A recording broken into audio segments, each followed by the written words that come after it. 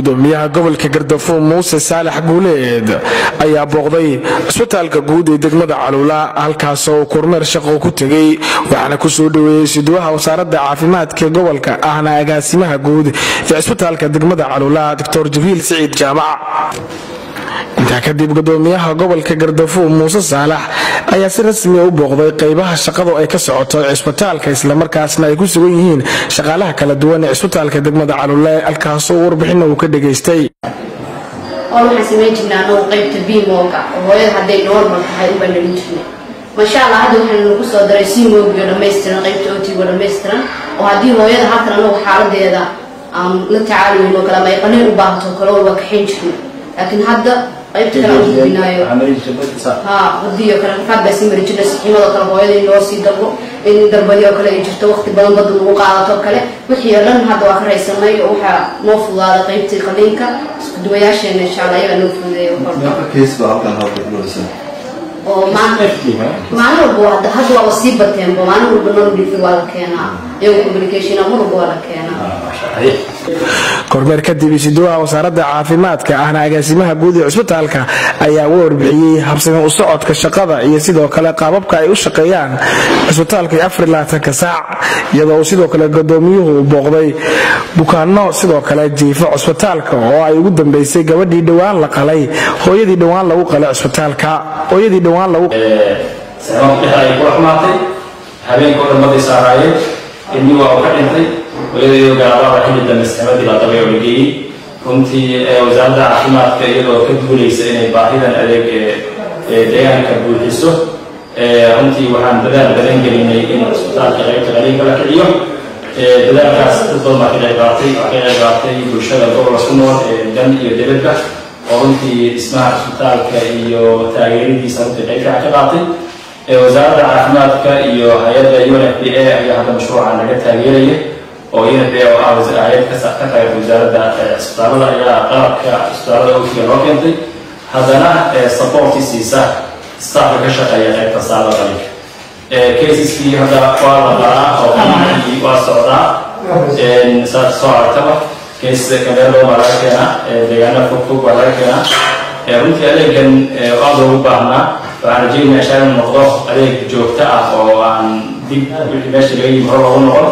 waxaan sameynaa oo kale qaybihii shaybaar kor baan u qaadnay adeeg fiican baan keenay sablaygii kor baan u qaadnay qaybtii emergencyga oo kale waan sameynay in qofka emergencyga uu helo waxyaabay asaasiga ah transfusionkii iyo wixii kale oo surgical main raaca. Runtii waxaan rajeynaynaa insha allah in gobolkana iyo degmadana aan ka helo taageero cisbitaalka waxyaaba badan buu u baahan yahay deyrkii baa qabiyo ah ismayaal buu u baahan yahay taageerada allah waxaan in oo ah guddoomiye gobolka u sarreeyey iyo tiimkii kula shaqeynayo insha allah inaad arrintaasna insha allah qaybteena ka qaadataan ayaan rajeynayaa waa ku mahadsan yihiin dhammaan intii qaadatay in cisbitaalku alula uu kaco wasaaradda caafimaadka hay'adaha la shaqeeya state federal iyo oo qaybta inta badan barnaamijka fikirka ay naga taageerta iyo hay'adda unfk oo naga taageeraysa mashruucan simoga iyo dhammaan gruubyadii ka qayb qaatay raasacasay group iyo amine japan iyo tiimamkii hadda dadkii daliga u joogay runtii reer dadku ee arrintaa qaybkan ka qaatay. Runtiina arkay in arrintaa guul laga gaaray wixii loo kaco oo dee dhammaan waqtiga geliya lagu sheegay laga gaara asalaamu calaykum waraxmatullahi wabarakatu qabaan labana ay ka baxeen midina hadda ay cisbitaalka iyo dhallaankeeda ay ku jiraan oo caafimaad qabaan qaybihii kale oo shaqada cisbitaalka uu qaban jirana ay wada leeyihiin oo laga howlgalo waxaan leeyahay waxa weeye waxaan u mahad celinayaa wasaaradda caafimaadka oo dadaal ba'an oo dadaal adag muujisay in caruure uu ka istaago cisbitaal dhammaystiran. Waxa iyo hay'adaha la howlgala oo hay'adda waxaa iyo wasaaradda la shaqeeya sida un b f un b f iyo sef children iyo qurba joogta deegaanka u dhalatay reer gardafow oo ugu deeqay dhismahan quruxda badan oo aan joogno oo qolalka badan oo qolalka badan iyo waararkii oo dhan kafeeyey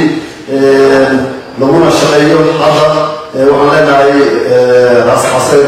waxa weye halkiina ka sii wada dadaalkiina muujiya annagu maamul ahaan waxa weeye wixii dee wasaaradda caafimaadkana waa u mahad celinaynaa marlabaad